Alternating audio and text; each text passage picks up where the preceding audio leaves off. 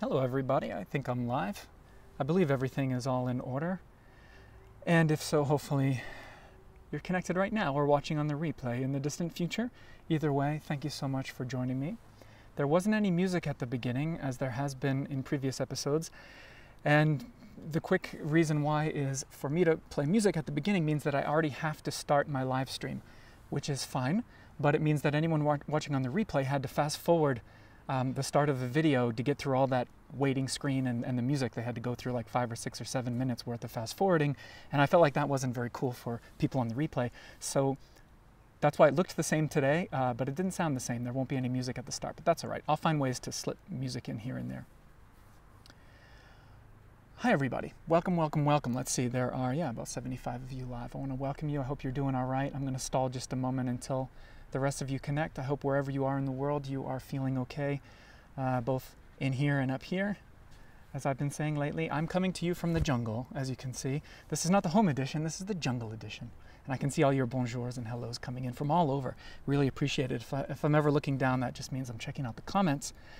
Um, it's great to, great to see you all and have you here. So yeah, I'm coming to you from the, this is sort of a jungle edition. And the backyard is sprouting nicely. This is the first spring that Charlotte and I, my wife, have really seen the fruits of our labor. These are all plants and flowers we planted last year. And it's great and perhaps very fitting. I try to put myself in the most colorful and lush spot um, in honor of today's episode. So you probably already know via the title, this is going to be, uh, this is a very special one because two years ago this weekend, there's a reason that I held off on this episode until specifically this Saturday. It's because exactly two years ago, uh, one of the most extraordinary experiences happened to me. Really, something that's going to go down as this magical once in a lifetime moment that I'll always cherish. And it was private access after hours into the gardens at Giverny, Monet's famous Impressionist gardens. And it all happened thanks to a lovely woman by the name of Sue-Ann Hum. Sue-Ann is many things. Uh, she is a, a, great follower and supporter and fan of my work here, but also she's a very talented and successful painter.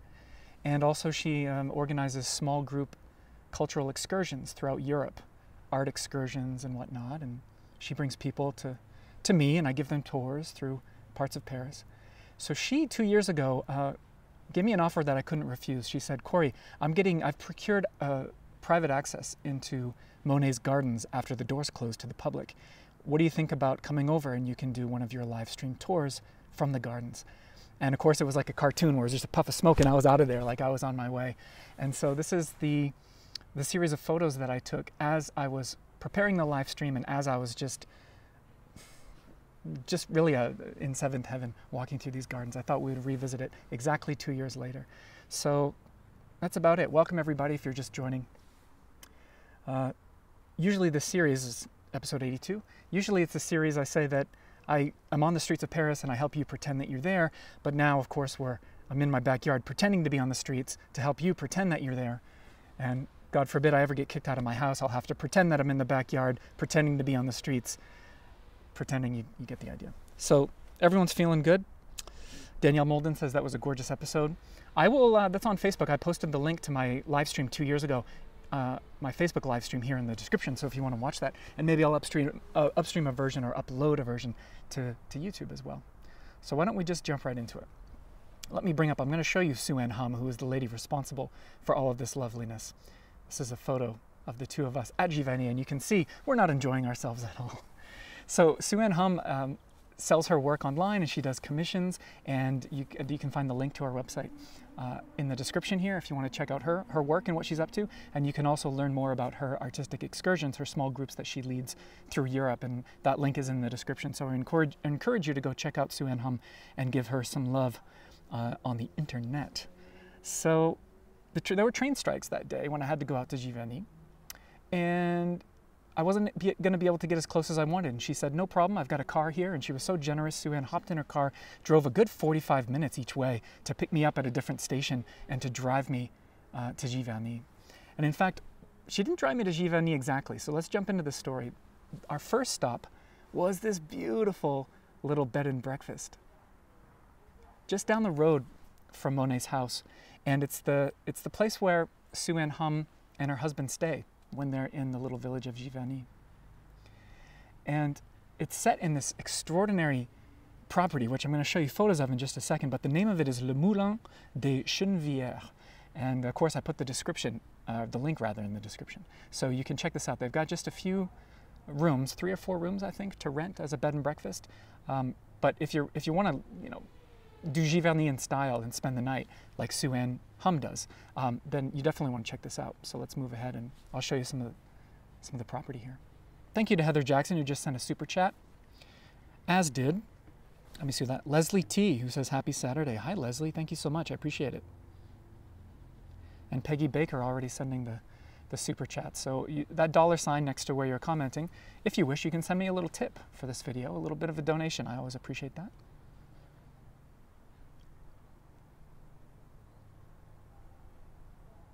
So I remember when I was in this space, hadn't even gotten to Monet's house yet. Sue Ann was excited, of course, to share this with me, and she was. T- I remember Sue Ann, if you're out there uh, in the audience, she was telling me about her the history of this place and her time, her experience here at this bed and breakfast, and what it is and whatnot. And I almost couldn't even hear her because I was just so mesmerized by this space, and of course, snapping photos all along the way. David Dubois here says, watching me through the TV. Great, David. That reminds me, everybody who's watching this on YouTube, uh, you may want to, if your connection's good, switch the, the video settings right now to 1080p, the max quality. So this is the front of the bed and breakfast, and my goodness, that awning is just so perfect, isn't it? I think it's cute how they got the little uh, American flag out there too, because they certainly do have American visitors. The town of Giverny in Monet's day in the 19th century had only a population of about 300 people. Remarkably, though, today, nowadays, there are only about 500 full-time residents in Giverny, so it still uh, maintains a very quaint atmosphere, despite, as you would assume, all of the tourists that flood in in the spring, summer, and fall. But yeah, that, that atmosphere of being the quaint Giverny of Monet's day isn't completely gone, which of course is so fun. And I want to zoom in some more on, the, on some details of this facade. Look at this, how fantastic is this? Because I believe this is the main doorway. If you look towards the lower left of this image, there's an old-timey chainsaw, which I wonder if it still works. That would be uh, just fantastic. And then, of course, that beautiful, perfect old rocking chair. And look at that razor scooter. Cast iron, that sucker. It's been around. You know, things were built to last back then. And isn't it adorable with its little metal handlebars? I absolutely love it. You've also got on the right-hand side uh, like a bugle and the windowsill and an old pulley and that red machine in the corner. I don't know if that would have been a pump of some sort of for air or maybe even a gas pump. I don't know. Your guess is as good as mine. So if you're just joining, this is the bed and breakfast that Sue Ann Hum took me to. This is where she stays. That window up top uh, towards the left there, that's sort of the master bedroom that you can rent, and that's where Sue and her husband stay.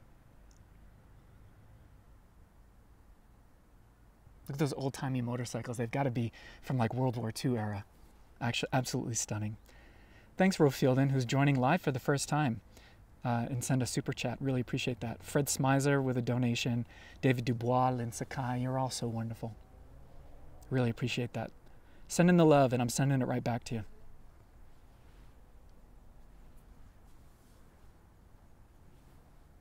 Now, if you come around to the back, there is a a mill of sorts, a water mill. And this was, this is called Le Moulin. Uh, so this place had a mill or still has a mill, but clearly this was the little creek, the little stream that would have powered it in the back. And this next image is the, the little river itself. And I just, this is one image that I particularly love here coming up, which is uh, just a stunner. Look at that. Wow. Wow, wow, wow.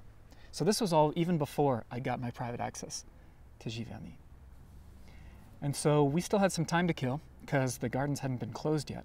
So uh, we met up with Sue's husband, husband, had a lovely meal together and chatted. Um, I have an art, arts background. That's what I studied in college. It was my major. So uh, Sue, and, Sue Ann and I always have, you know, exciting stuff to talk about. And then uh, eventually it was closing time at, at Giverny, uh, the Monet Gardens, and so that was it was go time for us.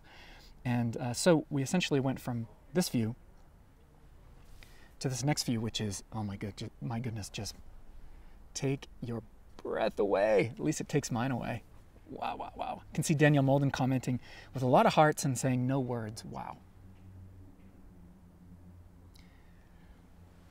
So for those who have been to Giverny, you know just how magical this place can be, particularly if you've got any sort of interest in Monet or Impressionism or the arts. And especially if you've been an artist or are an artist yourself. This was this is an absolute mecca, and it's really I felt like I was on hollow, hollowed ground. This was not my first time in Giverny when I was here two years ago, but it was certainly the, the first time and the only time I think that I'll ever have it all to myself. So you will not see any human beings in these photos because this is as I was prepping my live stream tour that I did and just snapping photos and just beside myself, beside myself. Before we take a stroll through these gardens, a nice slow walk through Monet's uh, property, he moved here in 1883, which was a time where he was in his early 40s, which is interesting because it was the same age of myself right now. And I always think that's that's interesting, not not necessarily because I compare myself to these people, you know, at the same stage, because I think that's a, fast route to depression, quite honestly, uh, to compare yourselves and, and, your own accomplishments to, to these geniuses. But what I do like is just think about like what, what his mindset might have been like. And he had a couple of kids, as I do, and et cetera, et cetera. And so it, interesting to note that he was 42, 43 years old when he was first moving into this place. He had discovered this house that you see that we're going to explore later. He had discovered it through one of his country walks through Giverny as he was getting to know the village. And it was, um, it was a rather rundown former pressoir, which meant that they were pressing grapes originally. And it had been converted back then into a sort of this rustic old country home. And Monet just fell in love with the house and the property in general, and he decided he, needed to live there. So 1883, he starts renting this property. He did not buy it outright; he couldn't afford to.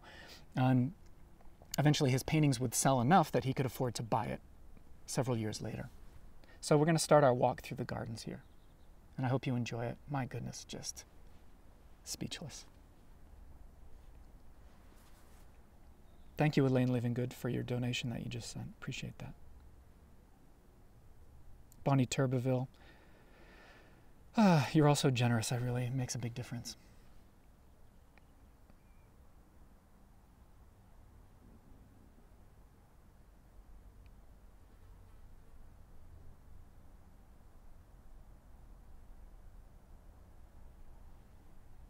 Mary Kia also uh, says hallowed ground for sure.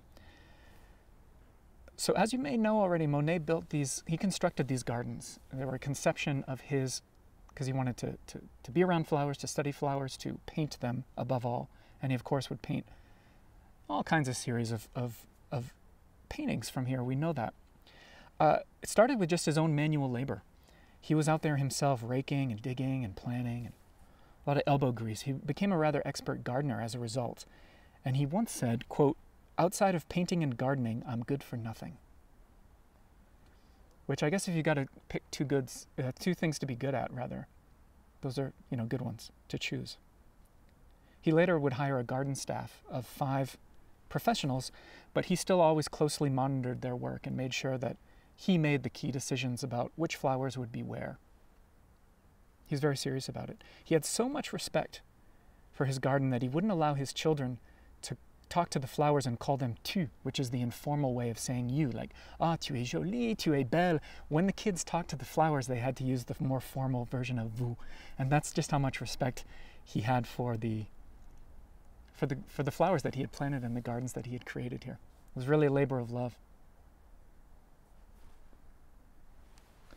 There were special meetings through all of these gardens of people, dignitaries and notables that would stroll through here we're talking, of course, uh, Renoir would spend time here, and Cézanne and Rodin, the Impressionist painter Sisley.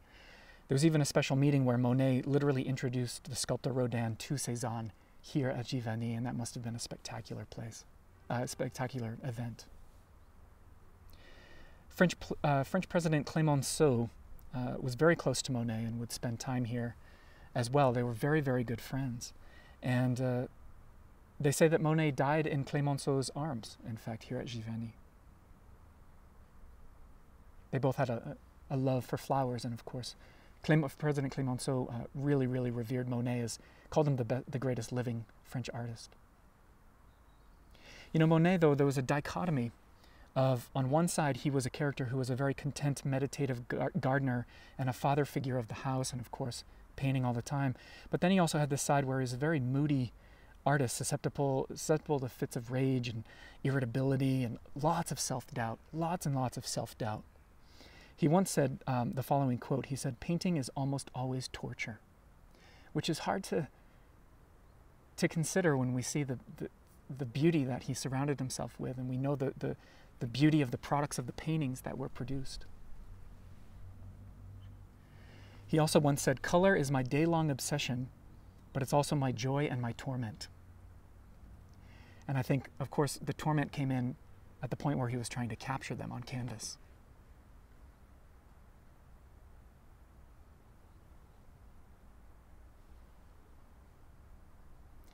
Thank you, Keith, for the very, oh my goodness, Keith, Keith uh, Hitke?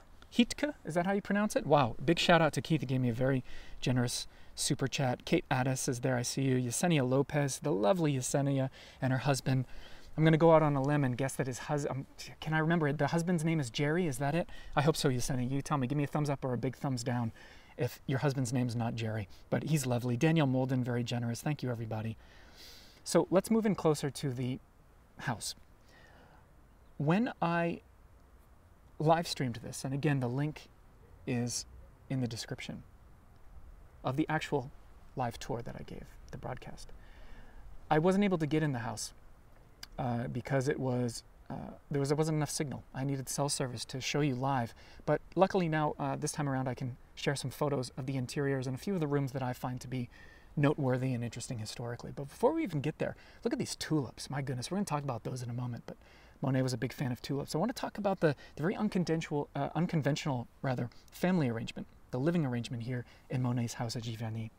Monet himself had two children from a previous wife, uh, his wife Camille, who sadly passed away before he moved here to Giverny. So it was Monet and his two children. Uh, but he was in love with a lady named Alice Hoschedé. Alice Hoschedé and was a woman he loved dearly, and she had six children of her own. Not only did she have the six kids, but Alice was married at the time. So there was a little bit of a 19th century impressionistic ménage à trois happening here. Um, you had Monet, the woman that he loved, Alice, all of their kids, their eight children, and then Alice's husband, who was a big fan of Monet. Uh, they, they were friendly to some extent. Apparently, they were admirers of each other. So that must have been an interesting dynamic here. And for that reason, the people of Giverny were actually a little bit yeah, they didn't always get along with the with the Monet family and vice versa because I, people couldn't quite figure out what was going on here at this house. But yeah, unconventional to say the least. And of those eight kids that were running in and out and through the gardens all, all day, two of them would actually end up getting married, and we'll talk about that later on. And um, one of Monet's kids and one of Alice's kids. And then eventually, when Alice's husband passed away, Monet and Alice got married. They made it official. So very interesting the the backstory. Let's move on to the tulips now. Monet loved tulips especially, and I was lucky enough that they were all in bloom here when I visited two years ago. He would go on special voyages throughout Europe, specifically just to paint tulips. And in his own garden, he employed uh, all the colors available, everything from the, the bright reds to the blacks. And when I was here before I walked into the house, I brought one postcard with me, one image that I wanted to compare to the actual scene. And this is a photo of me doing that. It's beautiful. I believe it's a Kodachrome image. And it shows the man himself. When he moved there, his, his beard wasn't gray, but it got, it got there eventually, as is mine, to be honest. And uh, so I sussed out sort of where this photo would have been taken, and my goodness. If you followed me before, you know I'm a fan of holding up images like this and imagining myself way back in time. And as I said, just for a, a guy who majored in fine arts, painting, art history, this was, and still is, just for me to look back at these photos, is just an absolute joy. And, you know, Sue Ann Hum, the lady responsible for this, is really, she gets so much credit for giving me a once in a lifetime experience. While we're paused here, let me thank a couple of other donations. My, Ellen Frye, my dear mother, who I love dearly. Hello, Ellen. She says, Giverny was just magic for me. Thanks for this. I really appreciate that.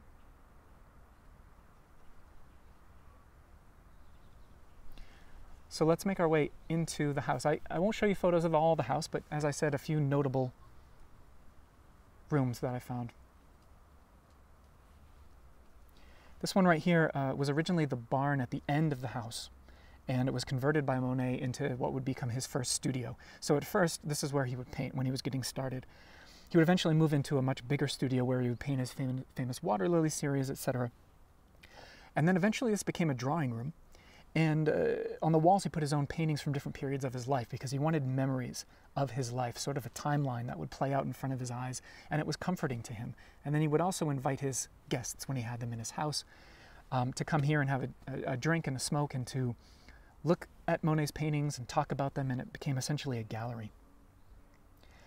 These used to be originals, of course, and then all the originals were removed and sent to the great museums of the world, like the Orsay and the Marmottan Monet in Paris. Um, but these were all done, these are um, very close facsimiles that were painted by a, a high end gallery in Paris. And they arranged these paintings in the same exact way, apparently, that Monet had originally organized them leading up to his death. So it's a very faithful reconstruction of how he wanted his images displayed. Thank you, Linda Luft, for that generous super chat donation. I appreciate it. Just beautiful. Natalie Hayes says, Oh my goodness, I didn't get to go inside when I was there. This is gorgeous. Lisa Cruz says, Oh, to sit amongst those paintings. I know. I can't believe it. Now, if we move upstairs, this is Monet's bedroom, speaking of paintings. And I hope, hope these images aren't going too fast for you. I um, have been slowing down my, my images uh, more and more each episode because I don't want to rush things. I hate feeling rushed during these episodes, and I certainly don't want you to. So I, I keep, you know, prolonging the time that we spend with each image, and I hope that I hope you don't mind. I hope you appreciate it. So this is Monet's bedroom. This is in fact the bedroom where he would one day pass away in 1926. And what he hung on the walls here were not his own paintings. He hung walls, uh, sorry, hung um, paintings of his friends. And of course, those were a lot of the Impressionists. So we're, we're talking about Cézanne and Renoir and the great female painter Berthe Morisot, so that's what you see here, of course, reproductions of the originals. And he also had a couple of Delacroix paintings hanging in his in his bedroom. Delacroix was a big influence on the Impressionists. They looked up to him as a hero, and um, a lot of Delacroix's style was, in a way, a precursor to Impressionism. Now, what he also had here, has anyone noticed what's above the bed? Yes, exactly. I see Heather Jackson says, just says, uh, said the, the painting above the bed. So if you didn't uh, notice it already. That beauty right there. That is our beloved painting by Mr. Caillebotte called Paris Street Rainy Day. And Monet literally had it hanging above his head. Now, this turns out this wasn't the, the final painting of Caillebotte. It's not the actual famous one, but this was a preparatory study, um, sort of a rough draft that Caillebotte had done, which was all too common for artists to lay out their composition and their colors and give the basic um, feeling of what their final painting would be. So Monet had this freaking thing hanging above his head every night when he went to sleep. Can you imagine? Now, if you if you're not familiar with my previous episodes and you want to learn more about that famous painting by Caillebotte, uh, you should check out my previous episode number 73.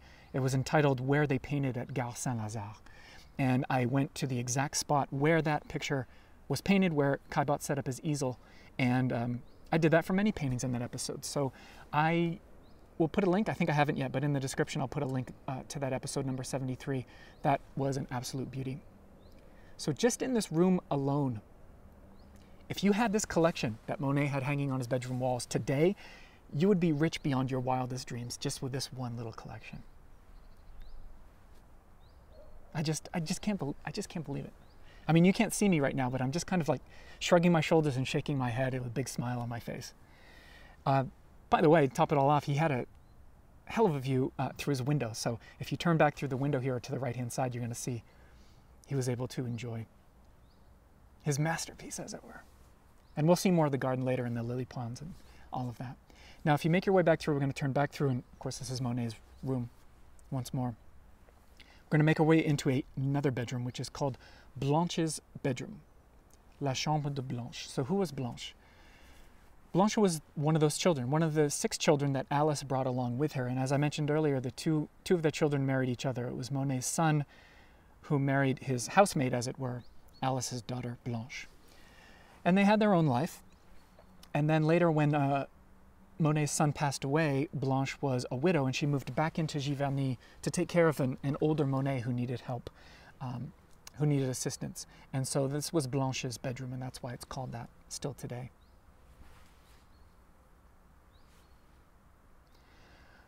Blanche was a painter herself, and so obviously her and she and Monet had uh, that connection, and she would even accompany Monet on some of his painting excursions and the trips that he would go on. So she was sort of Blanche was sort of an, an informal pupil of Monet's, and surely she must have benefited as an artist from that. And Monet always talked of her as being not just a, a daughter-in-law, but truly one of his own, own children. He was exceptionally close with her. So it's nice that her bedroom is preserved here.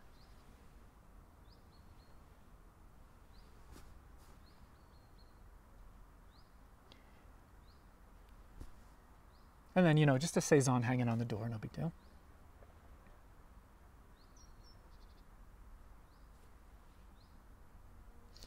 Lucien loves the wallpaper. So here we get to the iconic bright yellow dining room. This is one of those rooms that you just once once you're there, you'll never forget it, right? Am I right? Like some of those, uh, uh, I'm sure if you've already been through Giverny, you definitely remember this room. It leaves an impression, so to speak. No pun intended. Leaves an impression. Uh, the color of the walls and the furniture here were chosen by Monet, and if, if you're wondering, if you're curious, the, the actual color of this yellow, it's called chrome yellow. Occasionally, it's called light chrome yellow.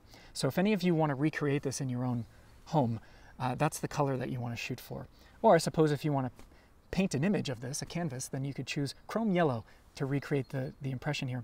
And um, delighted visitors, if they were lucky enough to be invited by Monet to, to dine in the house, they were always blown away by this the beauty of this room. It was so charming, and it felt, of course, like being inside of a painting. Although I guess you could argue it kind of feels like being inside of a banana as well, maybe fitting for a dining room. But just charming with the original flooring, you know, a flooring that wasn't too flashy but very utilitarian and did the job. And these two, I don't know if they're credenzas, but they're two cabinets.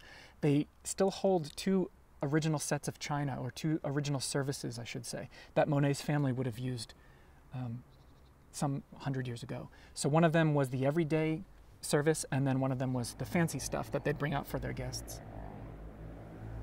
And the walls were adorned, thanks to Monet, with a lot of Japanese prints and those sorts of motifs, which he was a big fan of.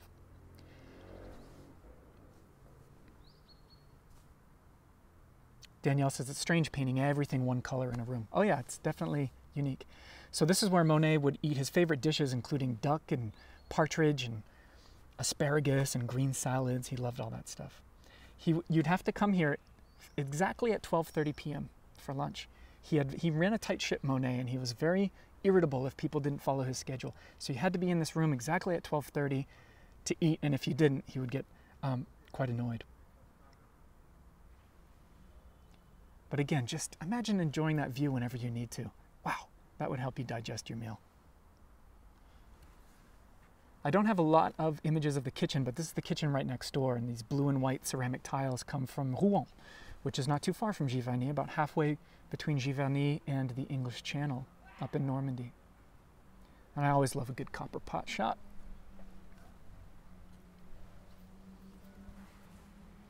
And then moving outside the house, uh, this right here, the entrance that you see there, today is the gift shop the gift shop of, of Giverny, but it was uh, his last studio. Huge studio, almost like a like an airport hangar, like an airline hangar. And um, he painted his water lilies in there famously. He needed a lot of space, of course. And so, gift shop today, but was his third and last studio where he did a lot of his late work. If we turn ourselves back around away from the house toward the garden, uh, I wanted to share with you this beautiful image of a, of a bench. Look at this. Can you imagine spending a little bit of time just right there. Although maybe you could argue the bench is turned the wrong way. It's turned toward the house.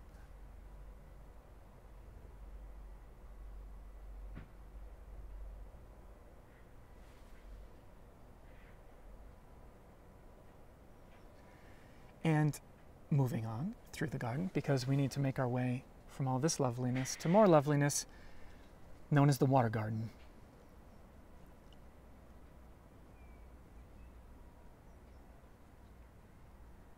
Margaret says if they let me stay there, I'll polish the pots. Might be a little waiting list there. So the little sign tells us that this way to the, the pond of the lilies. We'll make our way there nice and slow.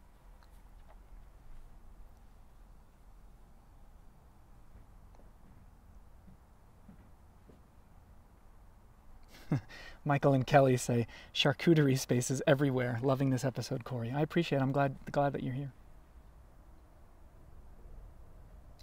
Pam says he skipped the kitchen. Well, I, I only had so many photos, Pam, that were good enough to share with this. Um, so at the time, I didn't know. I was running through really quick, and I didn't know that I two years later would be constructing a photo essay of this space. So sadly, yeah, I don't have too many photos of the kitchen.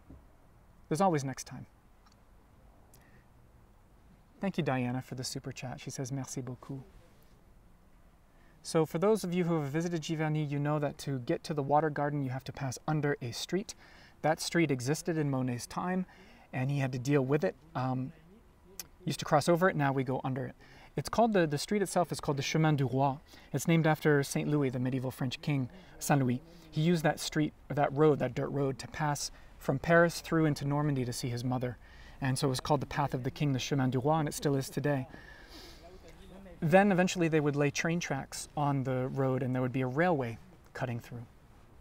So keep that in mind. You pass under the tunnel and now you're in the, the Jardin d'eau, the water garden. And the first thing that you see when you come into the water garden are a series of these sort of bamboo forests. And of course, it ties into the Japanese theme that uh, Monet was such a, a, fan of. But also, it, it added sort of a, first of all, it was very calming. It filled a lot of space, which I think Monet enjoyed. Um, and then also, it, it, creates a vertical, right, visually. If you're into that, that, that, those vertical lines really help to break up the monotony is not the right word, but the repetitive aspect of the flower beds. And I also think I'd be willing to bet that Monet saw the visuals of this bamboo as almost a palette cleanser, moving from the main gardens where the house is. And before you get to the lily ponds and all of that, uh, this almost does cleanse the, the palette as far as the, a visual goes. And so I think the bamboo is very effective in that way. And then you meander your way through and then you get to the, the body of water itself.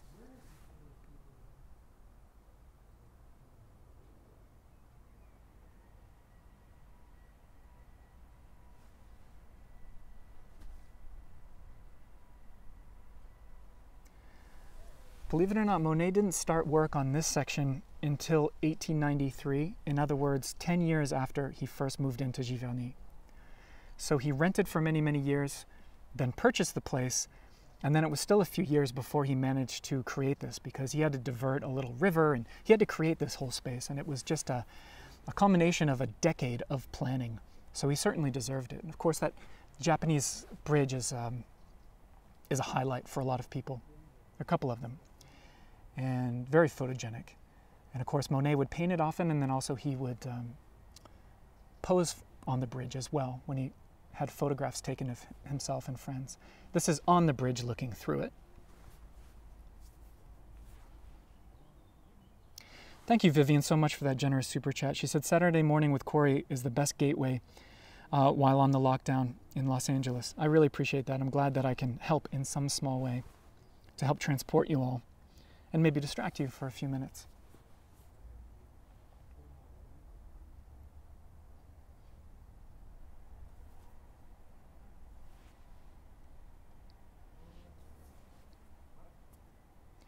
Now this was springtime two years ago, so the lily pads were not quite there yet. The, the few that you can see here um, throughout my photos were the leftovers from the previous summer, but that was all right.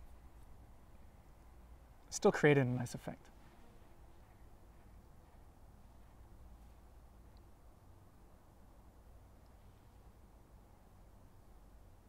And I truly did get emotional when I came through here.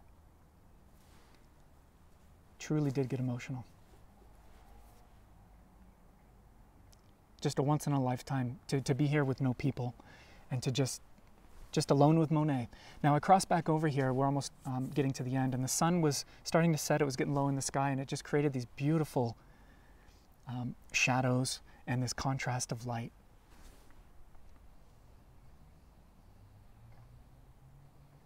Thank you, Kristen Parker. I appreciate that. I see you may have you may have missed the amount that you were trying to type in there, Kristen. You may have to give it another go, but I can see where you're I can see what you tried to donate and I appreciate that. Look at this light. Stunning.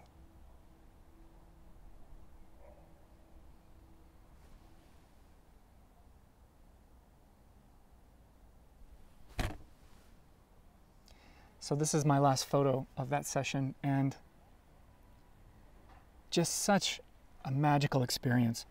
I mean, made even more special by the way that sadly this is no longer possible anymore. Um, I've talked to Sue Ann Hum, who was the one who procured the, the private access here, and she used to simply ask for it uh, officially and, and, and have a conversation with them and organize it, but now they stopped doing that. T 2019 was the very last time they allowed this for anybody. So it's no longer possible, even for those who are in the know. Uh, so really, I don't know if I'll ever be able to get in here alone again. And so I'm so glad that I have these photos and these memories. And um, Sue Ann gets a lot of credit for that. Again, um, check out in the description, I have links to Sue Ann's artwork and, and her trips. that She brings people to Giverny and to Paris and throughout. And so I know not people aren't traveling right now, but you may want to uh, next year, for example, and you can check that out. It's called myarttrip.com.